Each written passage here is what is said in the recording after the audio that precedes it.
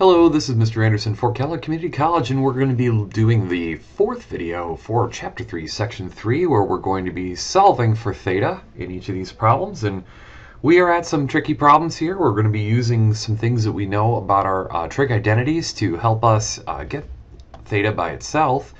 And um, one of the one of the strategies in problem 22 is that we see that we have sine squared theta and we also have a cosine over here. And knowing that the trig identity that um, sine squared theta is equal to um, 1 minus cosine squared theta, we now have the entire problem in terms of cosine.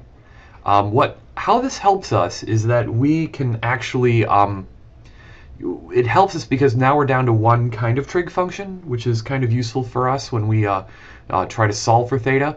Uh, another reason uh, where this came from is we know that sine squared theta plus cosine squared theta equals 1. So if I just subtract cosine from, uh, move cosine to the other side, we get this equivalency here. Um, so this right here, we're going to distribute the two. And you see I've kind of like stopped working on the right-hand side. Let me just focus on this side for a bit. So I get 2 minus 2 cosine squared theta. Now let me see if I can work a little bit over here.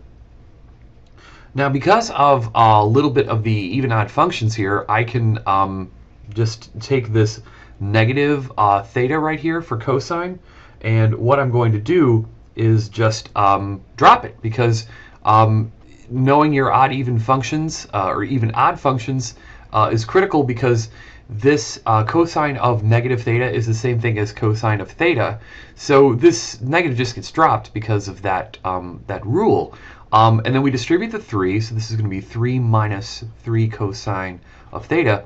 And, and now we're going to move everything to uh, one side of the equal sign. And uh, I do that because I have a cosine squared theta and a cosine, so that means I'm going to have to do some factoring. So I'm going to move this over to the right. I'm also going to move this over to the right. So if I, if I add 2 uh, cosine squared theta to both sides, I now have 2 cosine squared theta, and these would simplify. Um, I now, if I, I'm just going to have my minus 3 cosine of theta, and I will also then move this 2 by subtracting it, so that makes a plus 1 over here.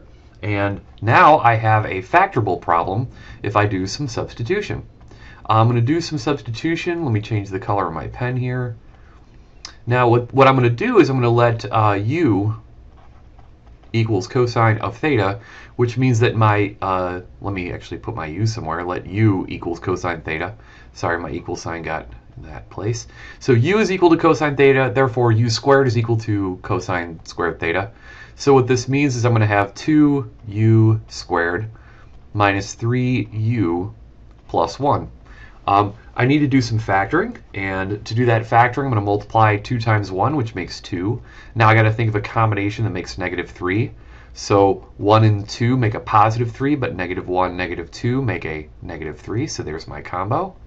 I'm going to split this up here, so this looks like negative uh, 1u minus 2u plus 1, and then here's my 2u squared. Uh, then we use grouping, so I factor a u out of this to get 2u minus 1. And I'm going to factor a negative 1 out of this. So I get uh, 2u minus 1. And all of these are equal to 0, of course, since I'm trying to find out um, what my u is here. So now I have u minus 1 equals 0, uh, since that's in, in parentheses there. And I've got my 2u minus 1 equals 0.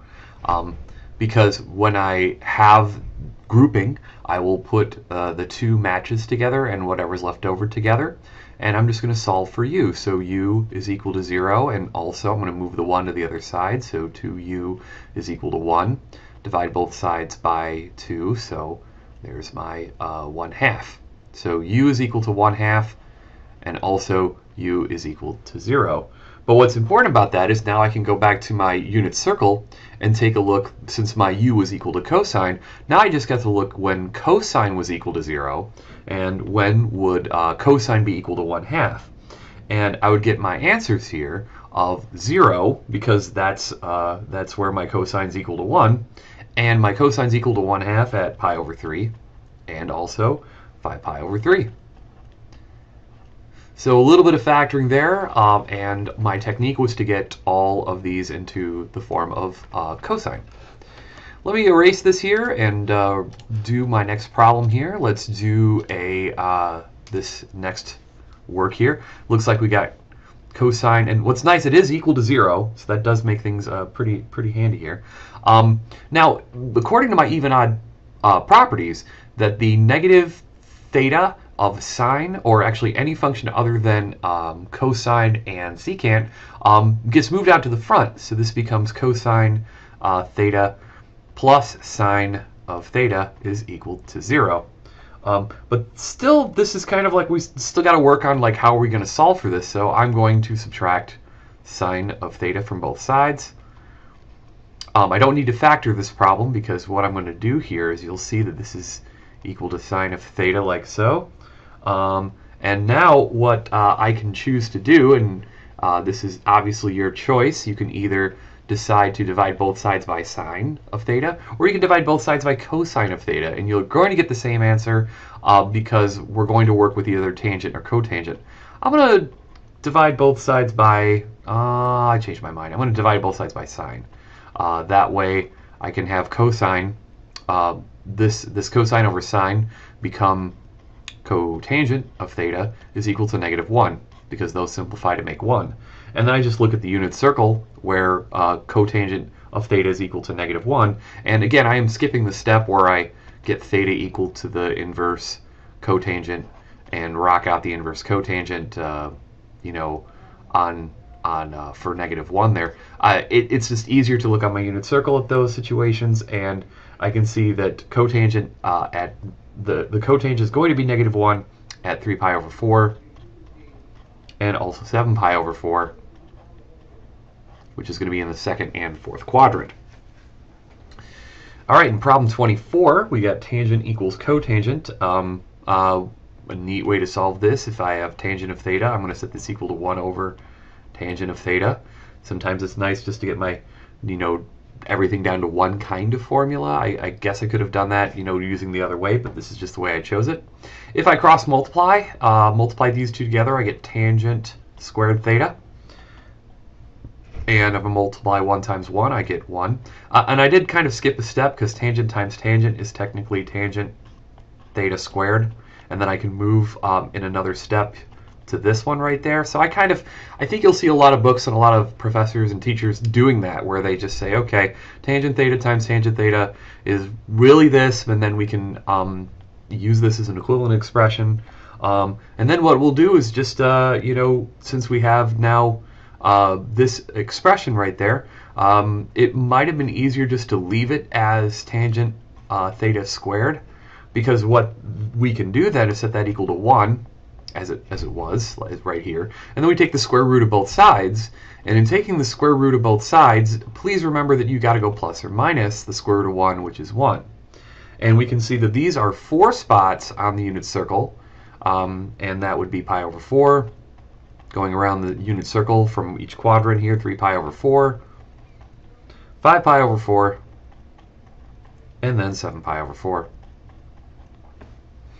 All right, so Moving on to the final three problems of this uh, worksheet here. Let's go to do these here. Okay, so we are going to try to solve this, and I notice that again on my right-hand side, this is a situation where I have sine squared theta. So think about the first example we did, and we got 2 cosine theta plus 2. So I'm going to try to get everything in terms of cosine. So I know that sine squared theta plus cosine squared theta equals 1. So I'm going to subtract cosine squared theta from both sides. So now I have 1 minus cosine squared theta is equal to 2 cosine theta plus 2.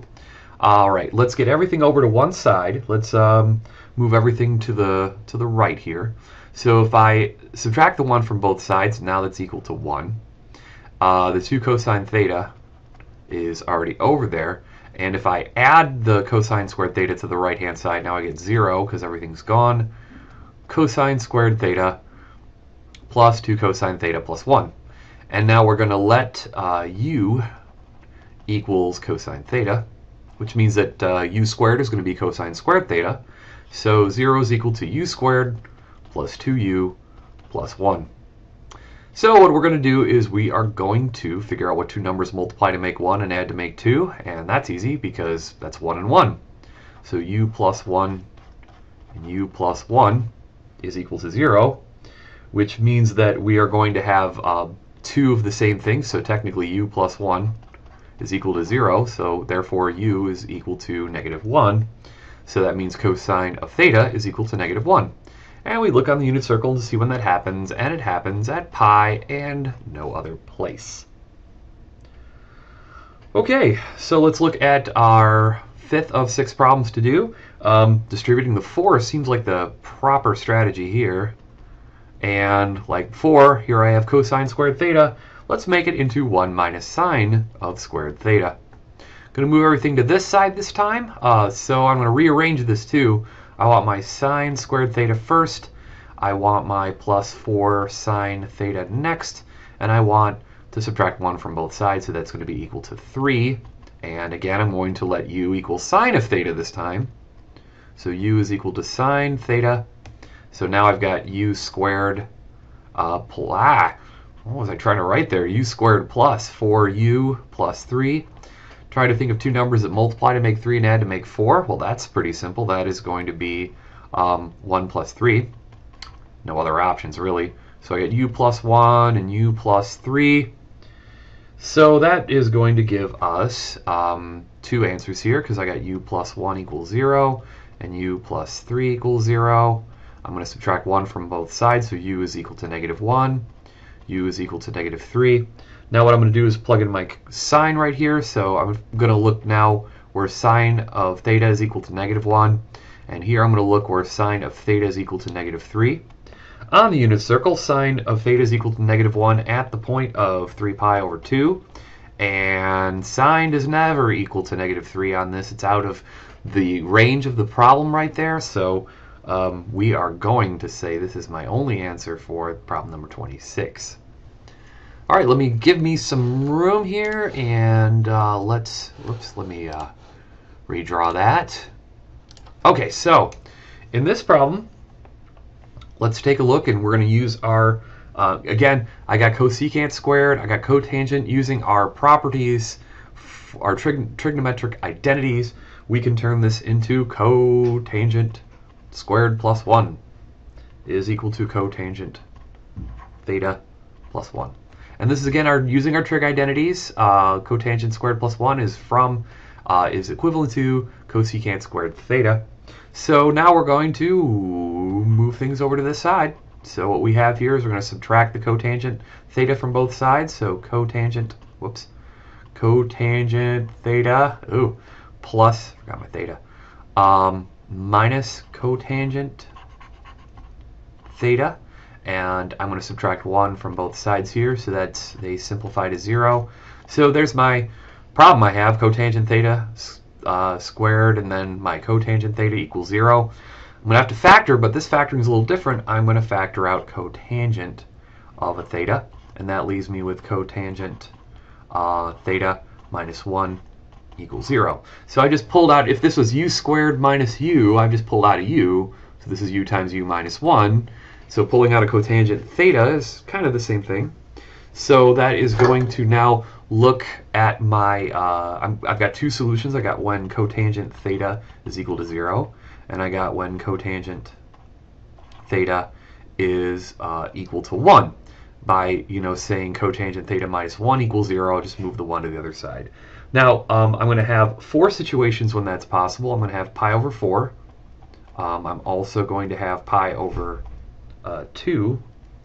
I'm also going to have, let's see here, it's going to be 5 pi over 4, looking at my unit circle, and then it's going to be 3 pi over 2. All right, well, thank you very much for watching. This has been the fourth of four videos for section for chapter 3, section 3 of trigonometry. Thank you very much.